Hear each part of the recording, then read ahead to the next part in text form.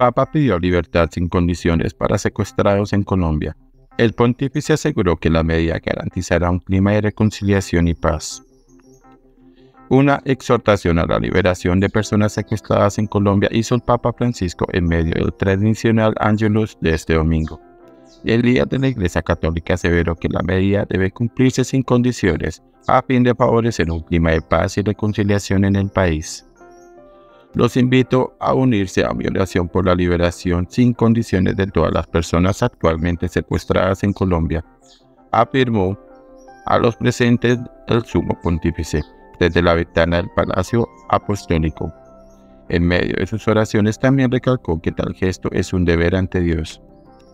Este pronunciamiento se da después de que el pasado 17 de diciembre, al término del quinto ciclo de negociaciones entre el gobierno y el ELN en México, el grupo guerrillero asumiera el compromiso de dejar de secuestrar como una acción de buena voluntad para que las discusiones de paz sigan prosperando. La decisión de los helenos fue celebrada por una misión de la Organización de Naciones Unidas ONU en Colombia, al igual que sectores políticos del país quienes sin importar ideologías aplaudieron la acción al considerarla beneficiosa para los colombianos. Como se sabe, el cese a los secuestros ha sido una de las grandes peticiones de la sociedad, sobre todo desde octubre cuando Luis Manuel Díaz, padre futbolista Luis Díaz, fue plagiado por integrantes del ELN durante 12 días.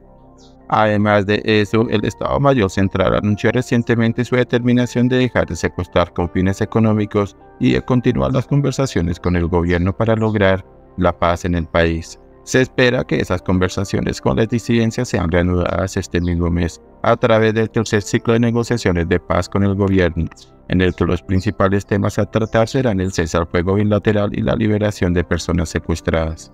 Durante la celebración del Ángelus, el pontífice aprovechó para hacer un llamado a la paz en Israel, Palestina y Ucrania, naciones que en la actualidad están sumidas en conflictos bélicos y también extendió sus oraciones por las personas afectadas por las fuertes lluvias en el Congo.